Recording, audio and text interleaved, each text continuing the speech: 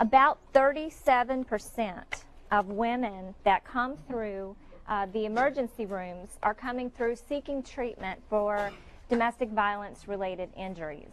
Um, that's quite a bit, and probably there are more who are there receiving treatment for injuries that uh, maybe occurred long ago, and so maybe they're not coming for current injuries, um, and so it's probably even a little bit higher than 37%. But studies have shown that um, we know for sure at least that amount are experiencing um, intimate partner violence and using our emergency hospital rooms.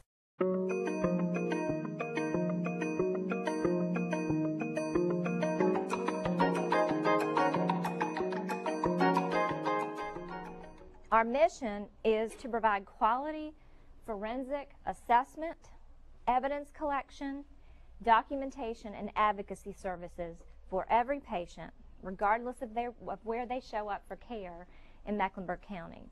Um, that's a lot. And, and if we pick it apart, it means a lot of different things.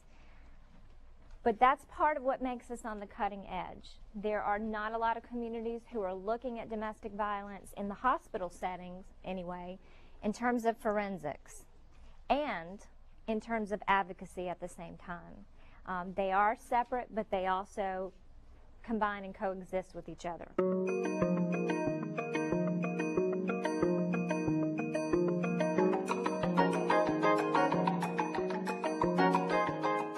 they can look at an injury and tell exactly, or most likely, they can say, you know, this is what the injury looked like. This is the color, the size, the shape, um, and it appears to be, and, and things like that. And that can be helpful for the police when they're out on a crime scene and they're looking for a weapon, and the nurse can provide them with that information. That can that can really help corroborate what they're finding on the on the crime scene.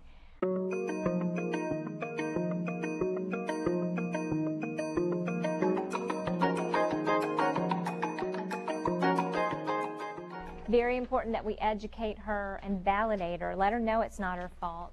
Don't push her. Um, respect her decision and don't call the police without her permission because that certainly can make it worse as well. Focus on her safety. That's what she needs most is somebody who cares about her safety, not somebody who's so worried about what are you doing? Why are you here?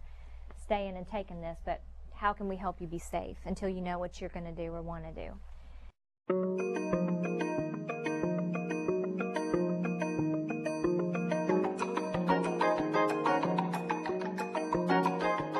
And I just think that this is a great example of the barriers that victims face and, and how, you know, a lot of times the helpers are also restricted as well. And so that becomes our dilemma as a community a lot of times.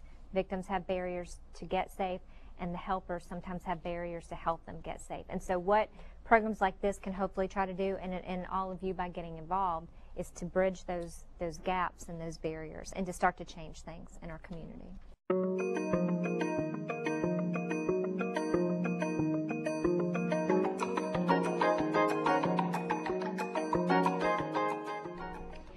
I think it's very important. Tell everybody to come to support anything that's about domestic violence education and, and change.